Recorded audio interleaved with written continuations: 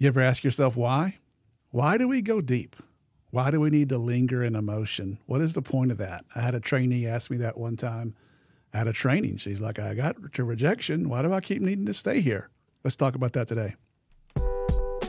Welcome to the Leading Edge in Emotionally Focused Therapy with your hosts, Dr. James Hawkins and Dr. Ryan Rana.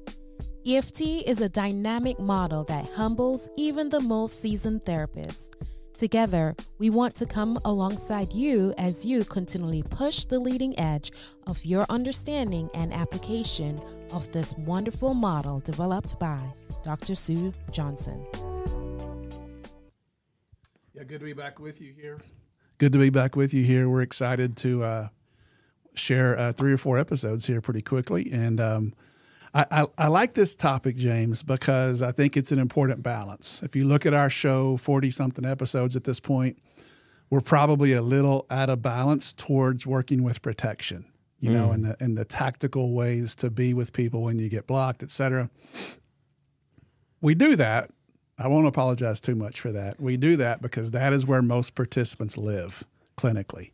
That's where most of our listeners, that's where most EFTers, especially folks who are learning the model, they work with almost nothing but protection.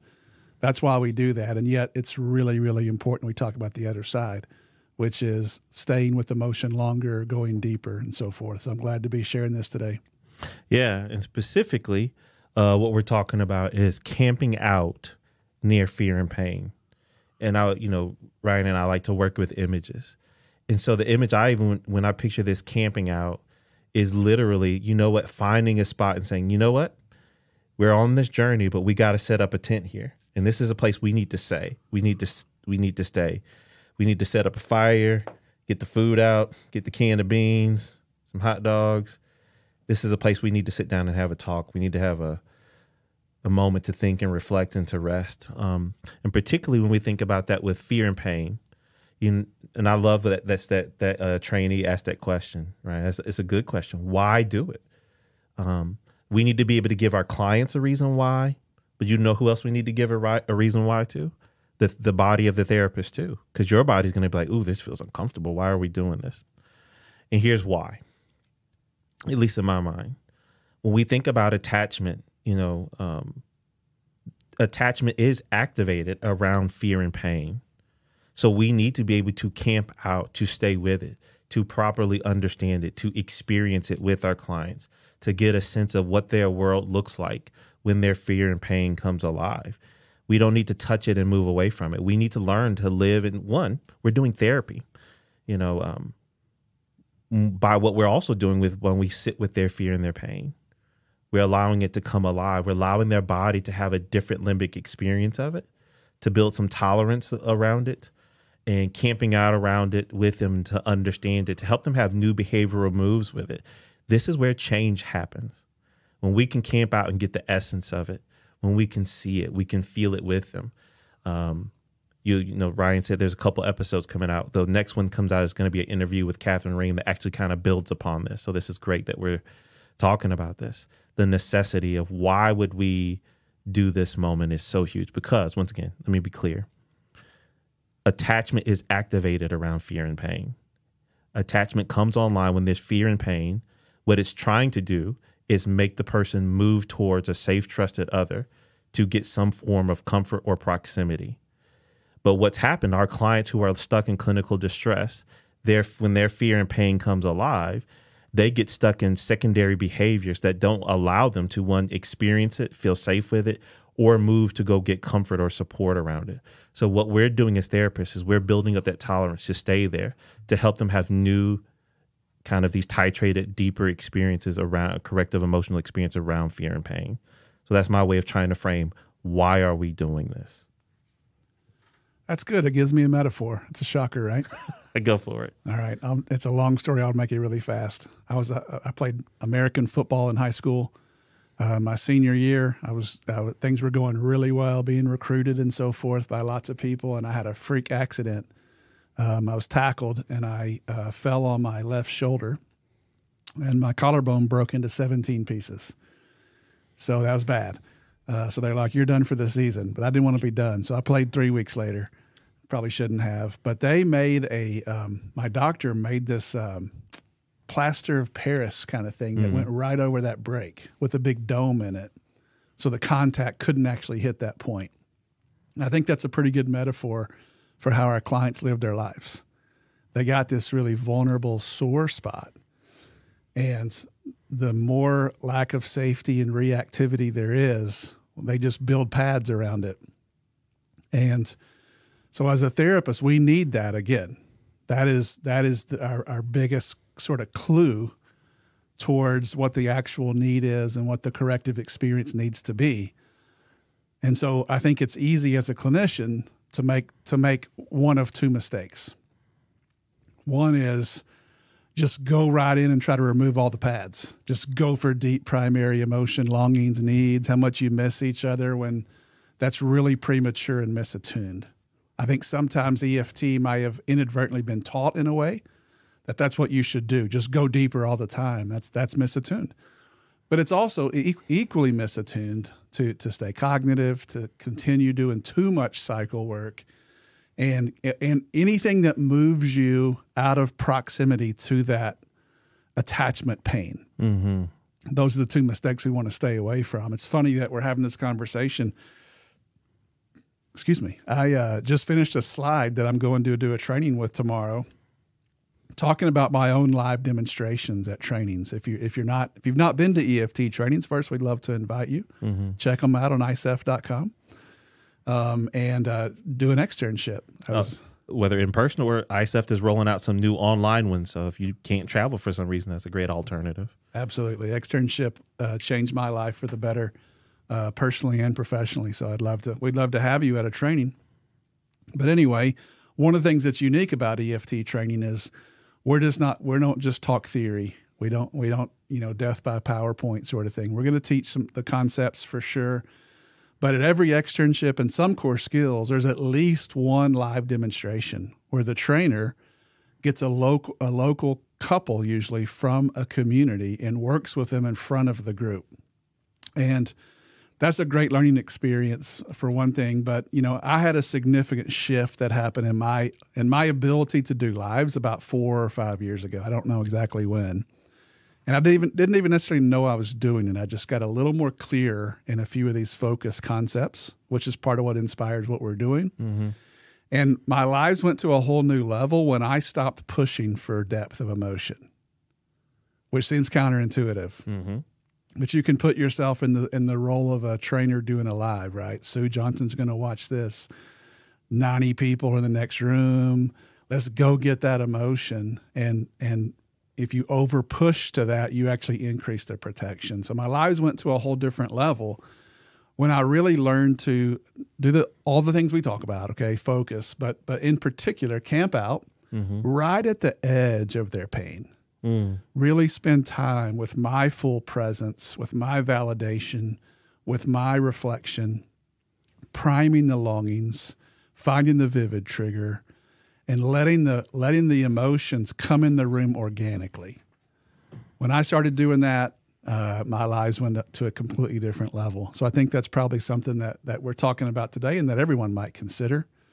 The ability to really, really camp out right next to their pain and let them choose to bring that forward is really, really key. But that is very unnatural because it doesn't flow with the story. It doesn't flow to the next thing. To camp out right next to pain or right in the edge of the pain is something you have to be trained to do for most of us. So what we're going to do is we're going to take a quick commercial break and we'll come back and we'll get practical about what does that look like on how to practically really camp out near your client's pain.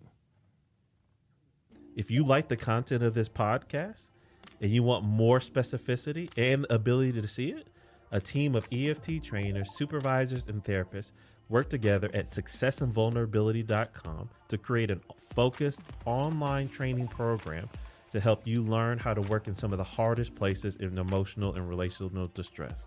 Check us out at successinvulnerability.com. All right, so we've kind of given you a frame for why. And here's why I think that's important. That's the first point I'm going to make on about camping out near fear and pain. We need to give be able to give our clients good reasons about why we're staying at a place.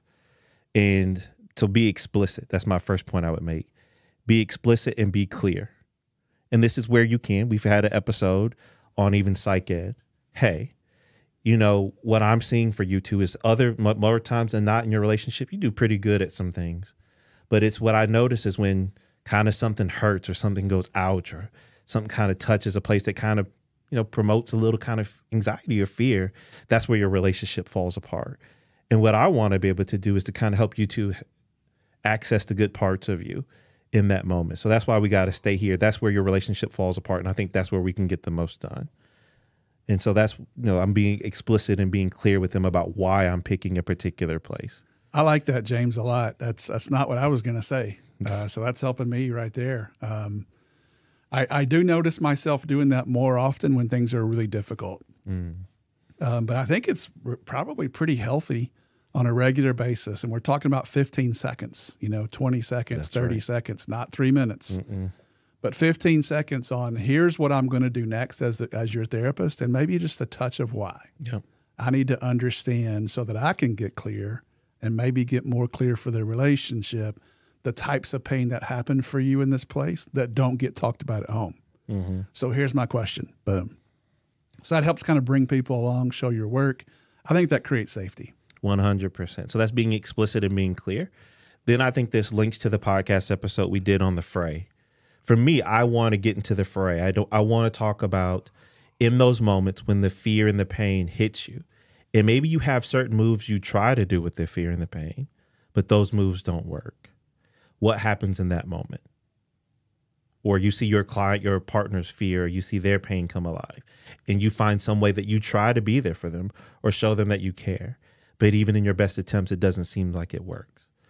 Can I get root? Uh, that's where I want to slow down and get clear. So I want to get into the fray as much as, as like Ryan is talking about approximately, you know, in their safety zone. Here's a line I just heard from uh, Leanne Campbell. You've heard her on the podcast before. Uh, Leanne sa- keeps saying like, I want to respect their window of tolerance while continuing to push their um, their edge of experience. So she's watching both. Just what Ryan was saying. I want to I want to watch their window of tolerance, but I'm also watching to push their edge of experience. So when if I'm going back to the image, we keep moving the camp closer to their fear and pain. We might be on the edge, but depending, you know, as we go, we want to get into. We want to be working our way closer to it. Right. So I think it's the question that you ask to help to kind of assess and get clear to what happens to it. Then this is another George one right here. And even when you get access to the emotional experience, don't just automatically keep trying to deepen and heighten it. Make sure you try and understand it. Truly understand what is this fear or this pain? What is it saying? What's the meaning of it? Truly try to build it out. What's the function of the emotion? Yeah. 100 and in the context of this relationship that's where the trigger comes in as well too like what does it mean what does it tell you about like you know like what's coming for you or what might happen if you can't figure this out really try and get the meaning and then my move off of that one you want to i was just going to say if you want an emotion to move to a healthier space however you want to define that let it achieve its function mm. every emotion is functional they are they are physiological processes, just like every other physiological process mm we have going on. We have a heart beating right now, and my lungs are breathing, even if I'm not telling them to, and they are doing their job. And emotions are no different. So if you want an emotion to slow down, to be more organized, to be more vulnerable, you have to let it, you have to work with its function that it's trying to do before that happens. And that's a good way to camp out near and that's not even you having to like try and push for more like so tell me your worst cat like that's in that place of this goes back to i think in the episode we talked about ryan talked about the full catch.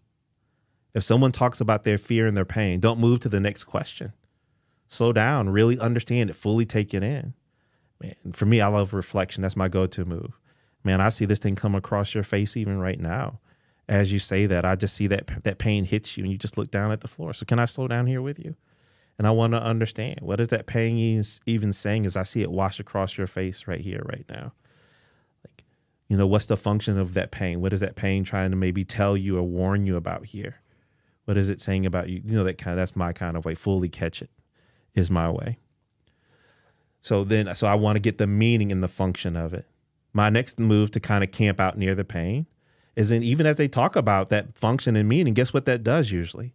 It provokes a live experience right there in your room. This is where it may transition from you talking about something that happened previously in the week or the fight that, that happened in the parking lot before they came in session to my question usually off that is going to be like, and what's it like even right now as we kind of look at that place, as you talk about it, and you even tell me that meaning. What does it bring alive in you right here, right now? Yeah, all, all that reflecting and validating that we're doing, that working with secondary emotion, it is really important, but it, it's not the answer. Mm-mm. We're doing that to open the door. So you don't want to get focused on the door too much. Mm-hmm. You want to get into the room. That's right. Get into the place, emotional space for that. And so bringing it alive in the room is absolutely essential. 100. And then, Ryan, my next one off that is going to be even after I do that kind of, that's an evocative question, give a good validation that makes so much sense. And when I look at this and I see that same thing that your eyes see, or I hear that tone that your ears hear, this pain hits you because it has this big message that right here is the place where everything could fall apart if we don't come up with a solution right here. And even as you talk about it right now, you feel this anxiety come up in your chest.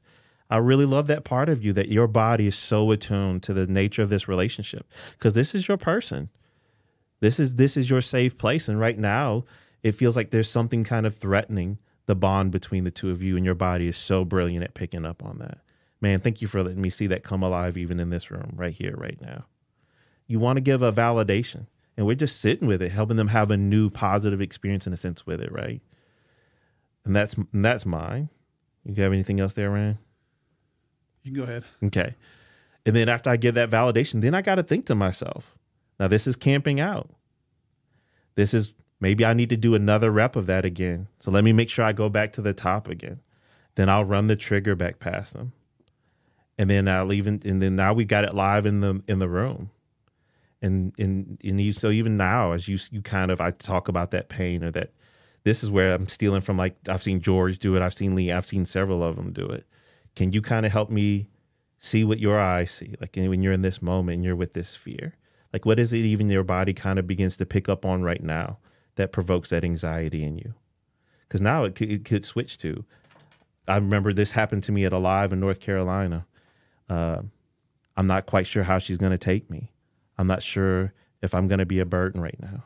Even saying it right now, like I feel the, the, the client was like, I feel this nervousness come up in my throat because I'm not quite sure if this is going to be a burden too much. It's going to be too much for her. And he's constantly looking her eyes to see if any moment if this is if his pain talking about is going to overwhelm his partner right so you could keep doing rounds of assembly in that kind of i say assembly i want to be it's kind of assembly with a deepening tone and by the way part of why you camp out in your pain I'm, i hope i'm modeling it somewhat is through your tone and through your pace that's a way a form of containment and also running it through you as a therapist is another great tool to use here man, I see this place. I'm feeling it now. It hits me in my gut. Whew. Or what Ryan calls the uh, attachment pain sounds. those big, man, Ryan, those are huge. Those deep breaths, like, wow. Whew. Okay. Yeah, my body gets it. My body sees it. Whew. Let me slow myself down. Man, gosh, even as this pain hits me, yeah, I can feel that kind of come up in my throat too. And the whole objective is here. We're trying to get it to a point where Sue would say, you got to get it hot. You got to get it cooking. Because when you've done that, I think for me, me and Ryan try never to prescribe numbers. But there is a part where you think you've stayed long enough, stay a little bit longer sometimes, depending on what stage of therapy you're in. I want to see if I could do three to five rounds for me of that kind of deepening assembly where I'm letting it wash over me and resonate with the client. And then I'm trying to work myself to a place where where it's a place where we can get them to do something that's new, different, or deeper with this emotion. Oh, that's what's kind of coming for me. What are you thinking, Ray? Yeah, I think that's good. I think um, qualifier. Mm-hmm. If you were trying to come up with a reason not to hang out on the edge of pain, so in other words, if you're making an argument to go ahead and push into it, the biggest argument is if you hang out on the edge of pain, you're gonna you're gonna get blocks and exits. Mm. I'm fine with that, mm-hmm. as long as you as long as you recognize what just happened and and you have a move to sort of counter that that exit. But you do have to contain. Yep. So if if you're like I don't want to work with blocks, first of all, I'm like I don't know how that's going to work. But if if you know there are some people who who in some of their cases can just push into that primary emotion, and once it's alive in the room, you got it. Yeah. But most of the time, if you're trying to push too prematurely, you're out of attunement. You're going to get more protection. So you're better off, I think, to attune right to the edge of where they are and let that emotion come up organically. But it is required then to be ready to contain exits and blocks and protection. Mm. Otherwise, that's not a good move. I like that, Ryan. Um, and I guess let me be clear about when I say I like that. Camping out near the edge and all those things I'm doing as I'm doing that and I'm running those reflections, I'm trying to go off of what I'm seeing happen. So I just keep I'm I'm willing to I'm willing to circle around and let it come alive and trust the process. Me and Ryan were just talking about that for a training coming up. And trusting that, but also as I'm doing that, I'm going around, Ryan is right. They're going to come up with a new story or they're going to kind of maybe they might go into an elongated story. You begin to feel them exit out of it and so camping out is just being able to make sure you as a therapist keep your focus. You be able to remember, hey, hold on a second. We were just in some pain and fear. Why are we talking about the latest funny, you know, story about this other thing? Or, you know, or I, I start talking to one client about her fear and she starts talking about things in her partner. And then I just give a quick validation. Like, I really appreciate this part about you. Kind of we touch this pain and you kind of you you start looking over at your partner because there's a part I think you're trying to get me to see what activates the fear and the pain for you. And I really appreciate that you can do it. Thank you for pointing that out. I want to make sure I catch that. But can I catch even as you look over there? Like what happens and you kind of point that out. What is it? Does it touch is this touching that fear and that pain again? And that's me still trying to kind of camp out near it and not go into because that could have easily exited me out to a conversation about it could have shifted my focus over to the partner to talk to them about that thing that the their their that their partner just pointed out we could start a whole nother assembly off a new trigger but what i'm really knowing is hey we're camping out near fear and pain and this makes sense what what this what just happened right here you got anything i do Go i do you know i, I saw you writing james makes fun of me all the time justifiably so my, my brain cannot help but organize things. I don't know. I need to see it there. It's a, it's a survival trait and a gift, though. There you go. There you go. So I got a question. Mm-hmm. Um, I got a request, uh, or two requests. I've okay. got. I'm sorry, not a request. I said the wrong word. Let me start that over. Okay. Forget that. I got four things. I got a question. I got two requirements hmm. to do this well. I got a process and I got a vision. All right. So, same things we're saying over and over, just slightly different shades of the same comments here. But the question is can you really trust that attachment's going to work? Okay. Because if you can't trust that attachment's there, that attachment's going to work. And by work, what I mean is that the longings are there and the, then the vulnerable pain is there.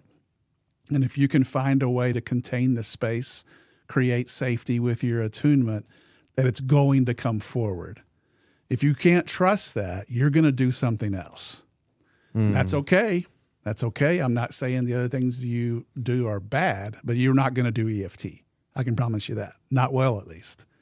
So you have to trust it. And that's hard to do if you don't have corrective experience in your body. So part of what teaches you to be a good therapist is failure.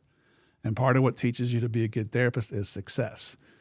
The really good therapists are the ones that can balance both of those failures learn you they teach you things but your body also needs a little bit of win to go oh okay it really is there that person who's fuming at minute 18 can be in big tears in minute 42 and we have the map that just helps them access what they already want to do mm-hmm. so that's a, that's the question the, the two requirements for me to to access great depth. Pick a word heightening, deepening, expanding emotion. Um, the juice, going for the juice is what Leanne calls it, uh, are two things that cannot be replaced you and time. Hmm. It, it doesn't matter, in my, at least in my experience and understanding. Who you are, what culture you come from, what culture you're even working with, all those things are really important. but you can't replace this. It has to be uniquely you, and you have to take time. And it's usually going to take more time than you think it should. Those are the two that you, you just can't leave home without. And so, by you, what I mean is, what is the most resourceful, nurturing version of you? I have a few people at trainings who said, I don't really have that. I don't do that. I'm just more, you know, cognitive. And some people are like, well, you shouldn't do EFT then. I would just say, yeah, you do. Yeah, you ever had someone in your family die? You ever had a, a, a friend who dies and you show up at, you know, an emergency room around a death or in a, in a funeral home? You, tell me how you talk. What does your voice sound like? At, to a person, they all go, oh, yeah, yeah, I do. Like, yeah, it's impossible not to. There's, even though some of us are better than others, when you see incredible vulnerability, it demands a different kind of engagement. At the time that we're recording this, there was a, a really big um, injury in the NFL to a player, and it was stunning to watch the next 10 minutes of what happened in the stadium. The broadcasters all were crying, the commentators were crying. They canceled the game, and and it's it's because there's this exposure to incredible vulnerability. Mm-hmm. And in this case, the potential of a death. And in, in some ways, I know it sounds funny to say this, we're trying to recreate that in our office because that different level of being together is the corrective experience. So the process, you know, it's funny. Um, I, I had someone help me with this. So um, thank you. Um, they, they watched me do, I think, three lives and they said, Hey, you're doing that different than you're teaching it. And I'm like, Am I? I didn't even know I was doing it. So here's a good rule of thumb. If something you're doing is really effective and you don't know you're doing it, it's really good for you as a clinician. Because what that means is your attunement is driving your next move. And if you establish your focus, then your own attunement driving your next move is ideal because your attachment system creates attachment. By the way, if you're a supervisor or a trainer, it's not good news. If you're a supervisor or a trainer and you're like, I don't know why I did that. Mm. Well, the answer is we'll figure it out because because all you just told your supervisees is we'll just be talented like me. And that's not good enough. So I want to challenge that. I'm speaking that to me primarily more that's than anybody good. else that I've, I've, got to push to get more clear. And sometimes people help you. So the process I'm talking about is nothing different than we've talk, talked about before. But what I was doing in the live to draw this person out, to hang around right on the edge of their emotion and just sort of wait for the eruption to happen is I would start with a, a, a positive intent, a longing, right to the vivid somatic trigger, and then to what that means from an attachment lens. And I would do those three over and over and over. Like I think I did it nine times in a row in a session and and at that point a big eruption happens. And now we're just finishing the mission and it's tons of fun honestly. But that's the hard part of that work. But that that kind of order you don't have to do it that exact way. There's a way to think about it. Positive intention and longing.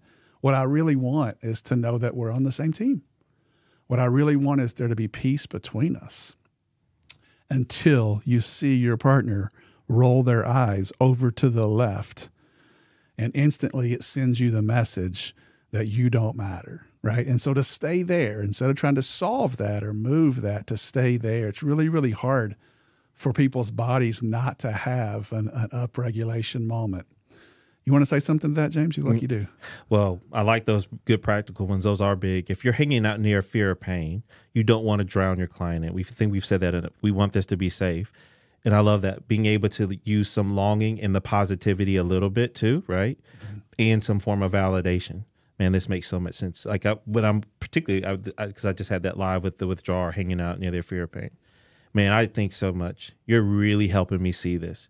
You're really, really helping me get this. You're doing a good job with your words. I appreciate it. Thank you for allowing me to be witness with you to this moment and to this experience, man. I use a lot of that positivity and validation.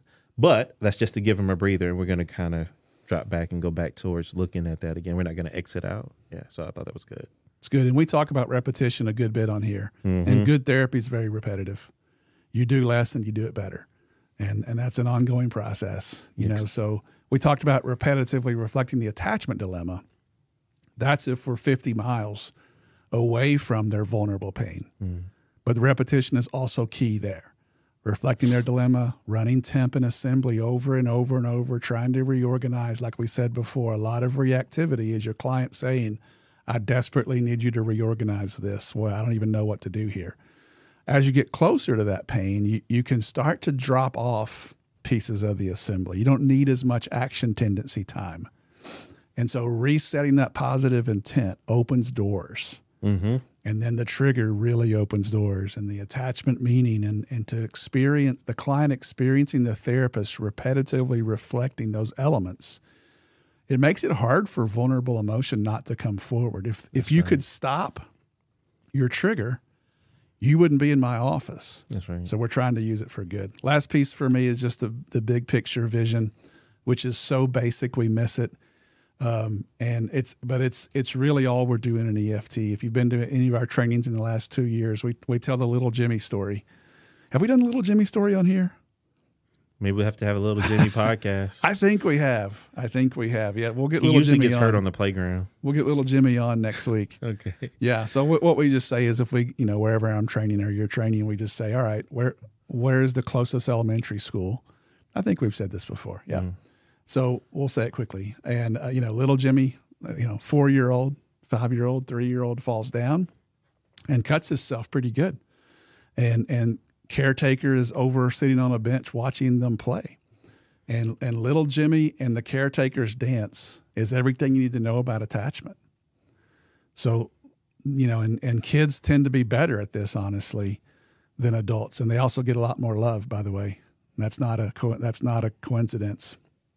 So little Jimmy turns and cries, and his nonverbals and maybe verbals, although nonverbals more important, says, "I'm vulnerable. I don't have this. I'm in pain. Can you come be a part of the solution?" Right, and the caretaker because that vulnerability is so clean and clear, the signal is so clear, the caretaker, nat- their body naturally moves into attunement into that level. This is why we deepen. Yep. Because if little Jimmy says, This is your fault, why weren't you here? Then it's a whole different dance. Yep. And that's what our clients come in with. They're really stuck in blame. And we're trying to have a different kind of conversation. And deepening emotion is how you get a clear signal out to the comforting responder. Exactly. And I love that's another good reason why we do what we do. Because camping out near fear or pain has a higher likelihood of success of evoking empathy or comfort or support versus the protective moves or blaming or kind of avoidance. And um, it does. I remember just once again, I will like the live I did in North Carolina. I could see it. The pursuer was blocked at the beginning and struggling and was really coaching the withdrawer. But the more the withdrawer's pain and fear started coming alive in the experience, her face, even the attendees were like, James, when you were working with him, her face kept turning like red, but it wasn't like she was angry. Her eyes softened. She was witnessing, she was watching her partner get into this vulnerable. And she's like, oh my gosh, I'm, I want to be there. I want, but it's because we camped out near his fear or pain. And that's why we're trying to share this episode with you is to really be willing to, like as Ryan said, camp out near the edges of it and trust that you don't have to force it or make it happen. When you make the conditions right, and I'm not saying every time, but our clients can feel safety and they'll feel that and they see that you want to understand that it's getting organized and they will start letting that and they'll- all of a sudden that kind of like talking on the experiencing scale. You hear more about that on the Kathryn Rheem episode as well. They'll start talking about it present moment. They'll kind of push that window the envelope. So really appreciate and hope for you and i think a good takeaway is how are you though? How are you at camping out near fear and pain? What does it do to your own body as a therapist? You know where do you find yourself exit the process? Like kind of like oh gosh this ain't working. Let's bring in the tents get the horses we're run, we're running this i'm going old western camping here right catch that but no seriously just hope for you you know how do you camp out with your clients near their fear and pain because that's where they need us to help push our leading edge as well but we also need to help them be able to push their leading edge also Thank you for listening. We hope this experience helps you push the leading edge in your work to help people connect with themselves and with each other. Please subscribe to our podcast and leave us a five star review.